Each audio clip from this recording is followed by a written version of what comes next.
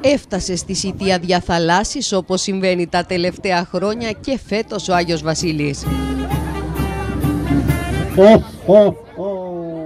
Με σύμμαχο τον καλό καιρό, μικροί και μεγάλοι τον υποδέχτηκαν με θέρμη και εκείνος δεν τους απογοήτευσε μοιράζοντας δώρα και ευχές. Κάθε χρόνο να θυμάστε, έρχεται με αυτόν τον τρόπο και θα έρχεται ακόμα για πολλά χρόνια.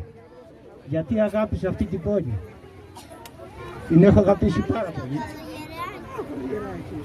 Και σας ευχαριστώ όλους, μικρούς και μεγάλους. Ο Άι Βασίλης έχει γεμάτο το σάκο με δωράκια για να μοιράσει. Δεν θα φύγει κανένα παιδάκι. Επόμενο σταθμός αγάπης στο νοσοκομείο Σιτίας, όπου ο Άγιος Βασίλης έσπευσε στο πλευρό των ασθενών που νοσηλεύονται στις κλινικές του. Ωστόσο, τα καλά νέα για το νοσοκομείο ήρθαν από το Διευθυντή της Ιατρικής Υπηρεσίας της Μονάδας. Το νοσοκομείο Σιτίας μπορώ να διαβεβαιώσω από αυτή τη θέση δεν είναι στην κατηγορία αυτήν που κινδυνεύουν.